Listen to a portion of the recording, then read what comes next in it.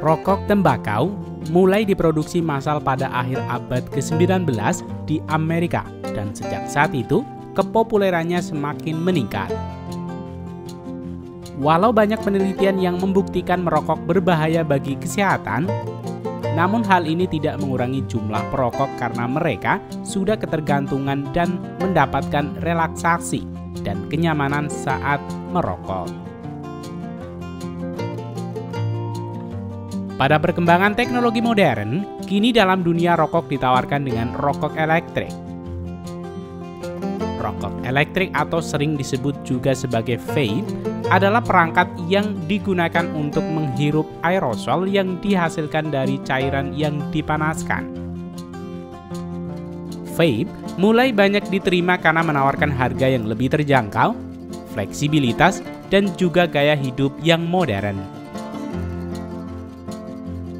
Pada video kali ini, Rekayasa Produksi akan mengajak kalian untuk melihat tahapan proses pembuatan vape rokok elektrik di pabrik modern Cina.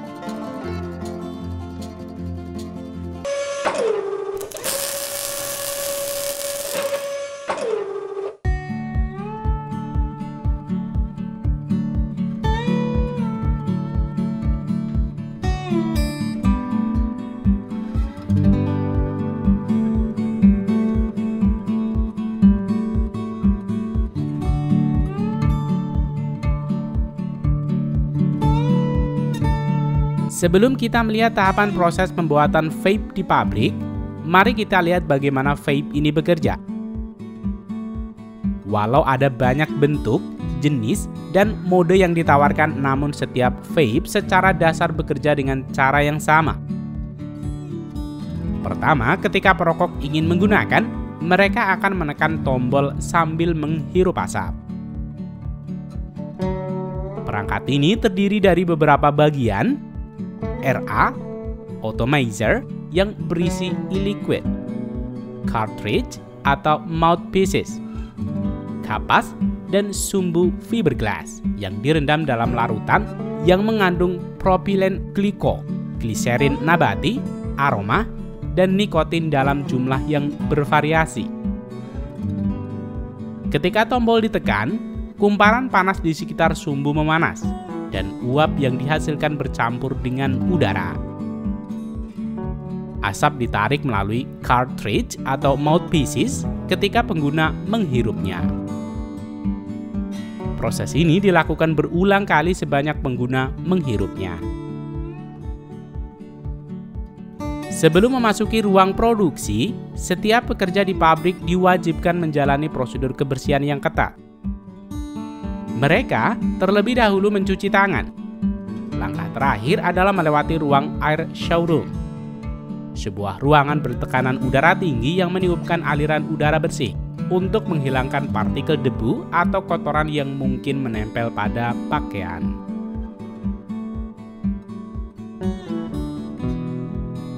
Proses ini dimulai dengan seleksi bahan baku yang ketat. Komponen utama seperti baterai lithium ion rangkaian elektronik, dan casing logam atau plastik dipilih dari pemasok bersertifikasi. Bahan-bahan ini harus memenuhi standar keamanan internasional termasuk ketahanan panas dan ramah lingkungan. Setiap pengiriman bahan menjalani pengujian laboratorium untuk memastikan kualitas sesuai dengan spesifikasi pabrik.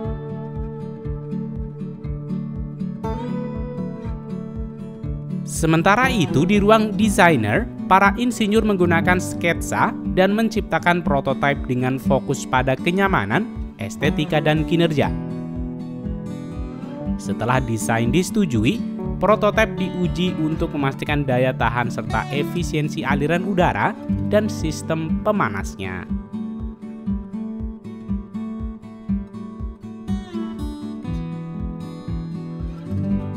Proses perakitan dimulai dengan produksi chip dan sirkuit elektronik menggunakan teknologi SMT, Surface Mount Technology.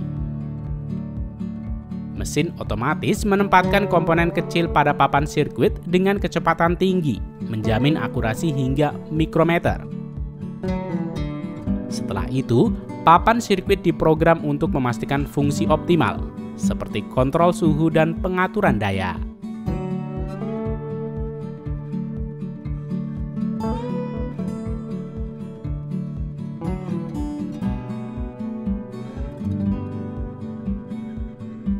Setelah casing vape selesai diproduksi menggunakan teknik cetak injeksi atau pemotongan CNC, proses berlanjut ke tahap perakitan komponen. Ini adalah langkah kritis yang menggabungkan semua elemen utama perangkat untuk menciptakan produk yang siap digunakan. Tahap pertama adalah pemasangan baterai ke dalam casing. Baterai lithium ion yang telah diuji sebelumnya dipasang dengan hati-hati untuk memastikan koneksi yang aman dan stabil. Selanjutnya, rangkaian elektronik utama termasuk chip kontrol dan sirkuit pendukung dirakit ke dalam casing.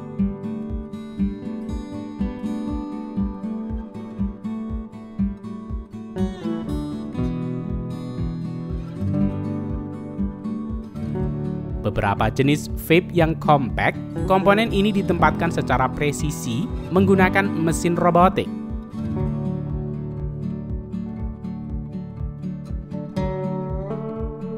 Namun pada beberapa jenis vape yang lebih besar dan sederhana, proses perakitan ini dilakukan secara manual melewati setiap tahapan pekerja.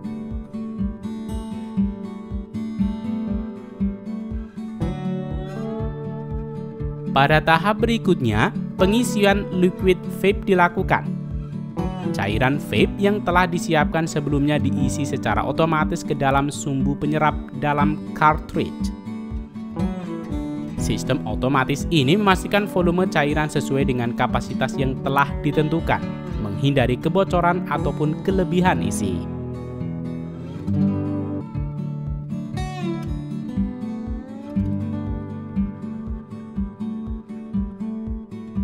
Setelah semua komponen utama terpasang, casing vape dirakit sepenuhnya dengan mengencangkan bagian depan dan belakang casing.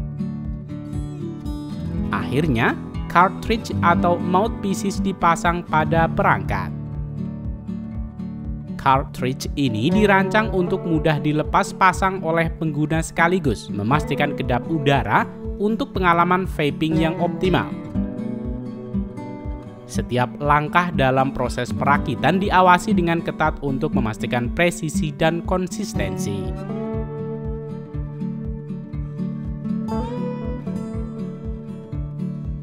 Setiap unit yang dirakit melewati serangkaian pengujian ketat.